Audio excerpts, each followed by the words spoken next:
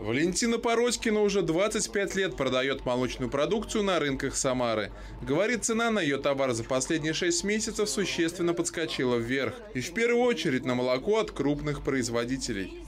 Государственная пристравка очень часто меняется. И ташлинская тоже меняется цена.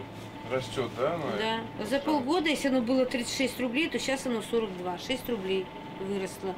Причина ценовых скачков на оценке молокозаводов. Сейчас они активно занимаются модернизацией своего оборудования, что требует немалых затрат. Обновление поможет снизить риски производства некачественной продукции. Ведь по итогам первого квартала текущего года региональное управление Роспотребнадзора сообщило, почти 5% молочных товаров не соответствовали нормам по микробиологическим показателям. Появляются новые приборы, которые позволяют, лабораторные имеется в виду, которые позволяют определить э, качество молока.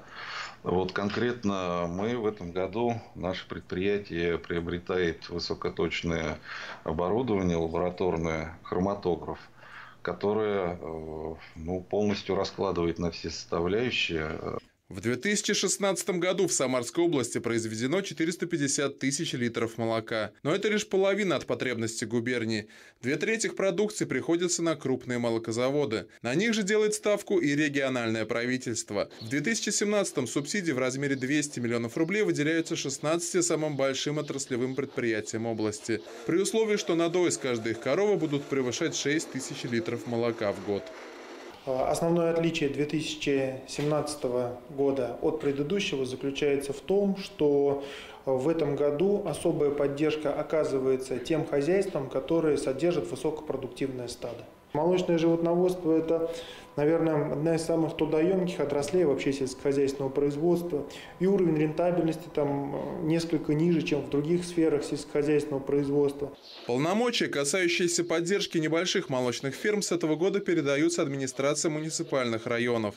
Очевидно, что это будут минимальные субсидии.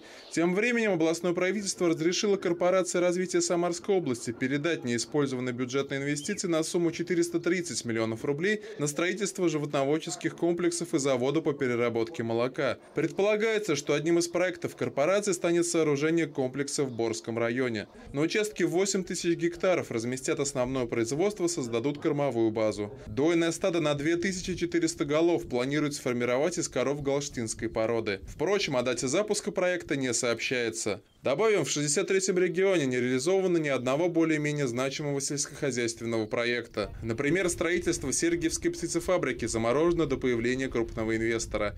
Хотя в объект уже вложено 3 миллиарда бюджетных рублей. Нужно еще 7. Так и не заработал обещавший стать крупнейшим в Европе свинокомплекс СВ «Поволжская». Предприятие обанкрочено, долги группы перед кредиторами превышают 5 миллиардов рублей.